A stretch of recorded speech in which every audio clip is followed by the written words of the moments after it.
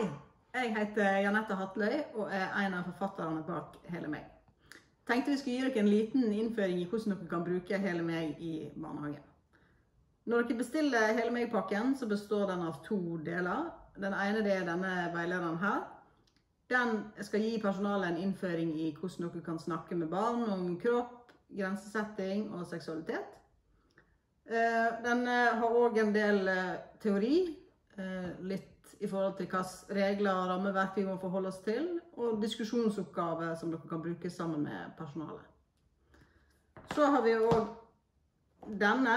Det er et samlingsmateriell som dere skal bruke sammen med barn.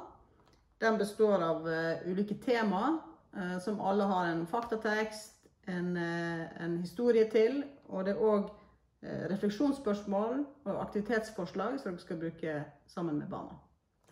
Vi har laget den sånn at eh, det skal kunne gå an å ha bilde foran og teksten bak. Sånn at det skal være enkelt og greit å kunne bruke den i samling med, mange barn.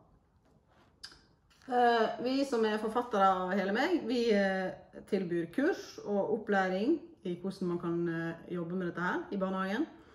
Lurer dere på noe, har spørsmål eller ønsker å komme i kontakt med oss, så kan dere gå inn på den nettsida som er der. Eh, Og for de av dere som ikke har bestilt ennå, så er det bare å gå inn på pedlex.no. Eh, Så finner dere samlingsmateriellet og veilederen der inne.